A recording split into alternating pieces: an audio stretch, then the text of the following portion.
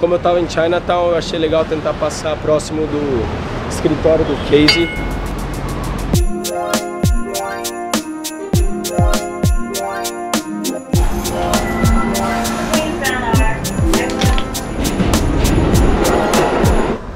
Mais um dia no metrô.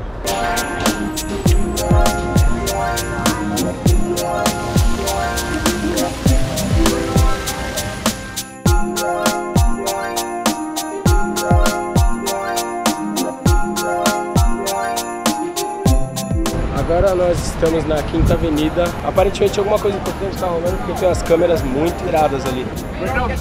Jogo de alguma coisa. Parece ser bem tonta.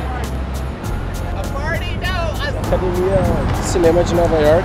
Não é muito difícil vir pra cá pra estudar filme, é só ter dinheiro. É incrível como a poluição sonora é gigante nesse lugar, cara. Faz parte. É uma grande cidade.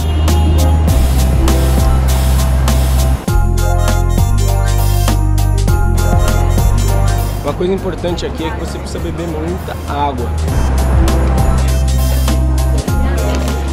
Dunkin' Donuts de novo.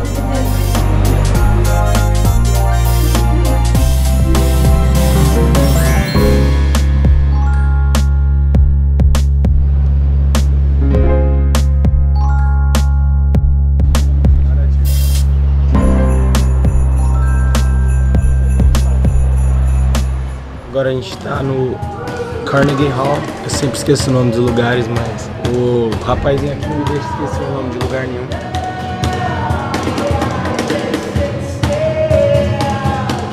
Esse lugar é, é incrível, acho que não tem muito o que dizer. Olha onde a gente tá, numa viagem começou um pouco despretensiosa. Tanta coisa aconteceu por causa das pessoas que eu conheci, tanto que elas foram prestativas, que elas tiveram como dar o tempo delas para andar comigo, para me levar para os lugares. Elas podiam dizer não, elas podiam estar ocupadas trabalhando.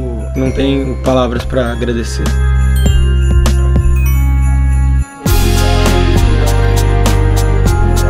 What's your feeling right now? What's my feeling right now? Yeah, what's your feeling? My mind is blown.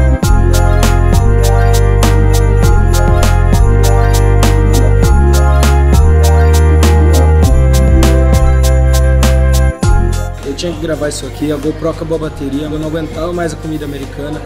E o meu amigo daqui, o Akin, ele me trouxe para comer comida brasileira aqui no Queens. Vai ser a melhor comida que eu comi nos últimos dias.